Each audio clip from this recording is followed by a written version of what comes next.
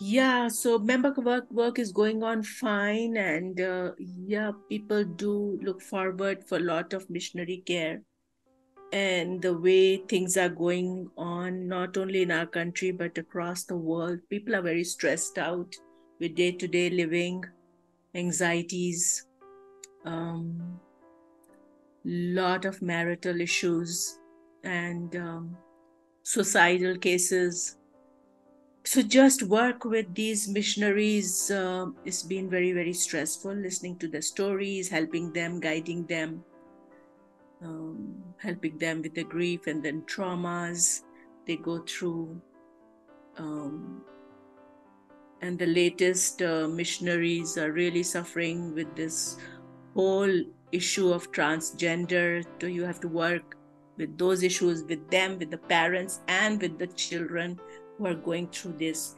So it's been a quite a hectic this uh, member care missionary care work because it's not only the missionary parents or leaders but you know you have to look into the children issues also so it's going on like that working and um, recently a um, lot of young people the missionary kids we they have got in touch and they want to discuss a lot of things and they want to get help in these areas uh, where do they stand in their faith. So we have formed a group called adult mks adult missionary kids. It's like above 20 years and they can be like 40 or 50 and it's amazing that the things they go through in their lives even after when they are so adult they are married they are in their jobs they go through issues and they don't know how to um, handle it. So we created this group uh, on whatsapp where they can just come up with their issues and we can talk and dialogue.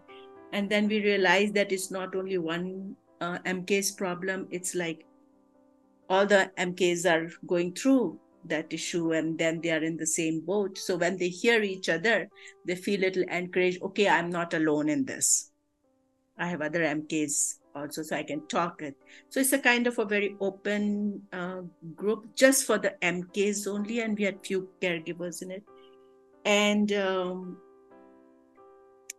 last month uh, they discussed issue on identity. What is my identity? Um, what is my sense of belonging?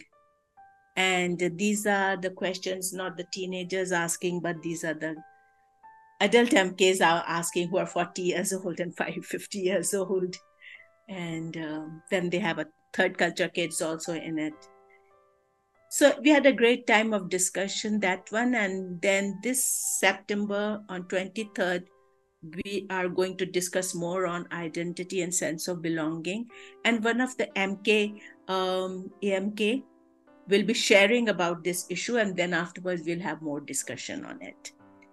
So we thought it will be nice just the instead of calling people from outside and sharing it, uh, let the adult MKs share that particular topic, and then they all discuss together, and then we move forward from there and then next to next month in october probably we'll be discussing on um, anxiety and stress because that's what a lot of amks are going through. Not only in their jobs but like family matters and the kids they go through. So so that's what they want to discuss and see what how we can uh, deal with these issues. So pray for that because last month we had 25 logged in and it's not only India, but it's like Southeast Asia. And then we have AMKs, uh, not only Asians, but um, from the Western world and Eastern and Africa, because uh, they have been, their parents have been missionaries in, in Southeast Asia. So then these kids were born there and then they became AMK or TCK, they became. So they heard it, so they joined in so, and the time zone was a bit not very great, but still they were up and because they wanted to talk these issues. So pray for me for these issues and then, yeah, so deal with this and then see that how we as a caregivers can come alongside these adult MKs. You know, sometimes we think that only the little MKs are having issues, but you know, MKs, even when they become adult, even if they are working in the missions or they're working in the corporate world, or they're married with children, or they're divorced, um, or separated, or even living with the partners. You know, it's becoming a trend now mm-hmm. that uh, many people don't get married and they just live together, and many MKs are doing that. And for me, I really don't want to judge them because the peer pressure is so high around the world. And the best thing we could do that just come alongside and listen to them, what they have to say, why they're uh, slowly moving away from their faith, why they are embracing other faith, other religions like uh, Islam or Hinduism or Sikhism or uh, Zoroastrians, why they are becoming like that, why they're not satisfied in their Christian faith, what's the reason that they're leaving. So we have a lot of AMKs like that, living with the partners, moving away, becoming suicidal, um, and they feel that the churches are not helping them. They tend to sweep everything under the carpet. Missions don't help them. They sweep everything under the carpet. So where do we go with our issues. Whom hmm. do we talk to so it's wonderful to have this kind of a platform where they can just come and open up without being judged and then we talk to them so pray for the next one, which is in September 23rd, where we will be talking issues and discussing this.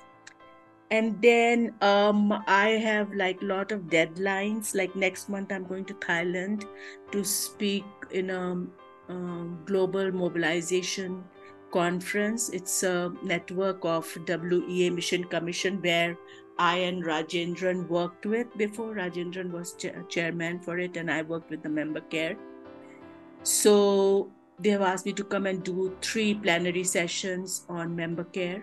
So one is spiritual renewal and two are emotional healing. So pray for that.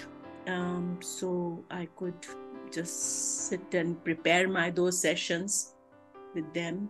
And then um, I'm also turning my uh, PhD dissertation into a book. So that's uh, one project i'm uh, halfway through in that one then um, um, i have to write for global member care they're doing uh, part two of doing member care well so they have asked me to write and do the editorial work for that so it's like things are becoming too much on my plate so pray for it yeah so that Lord may give me strength and grace um, to go on and continue to feel satisfied or content in what I do. I don't want to get a bigger plate and just keep dumping things on it. Like one of my friends said uh, when I told him that I don't think I can take any more. My plate is full. So he said to me, "Take a get a bigger plate." I said, no, I'm not going to get the bigger yeah. plate. Whatever I have, let me just finish it. And once that is finished, then I'm going to put on it, you know. The plate's a little too heavy right now. Yeah, yeah, yeah. I know right now so much on me. I have it, you know, just writing and doing this and preparing sessions and dealing with AMKs, dealing with missionary parents and mission, you know, mission leaders and counseling and you know it gets sometimes. And one thing i realized in my studies when i was doing my counseling that very clearly we were told that listen to the issues but make sure you do not carry their monkey on your shoulder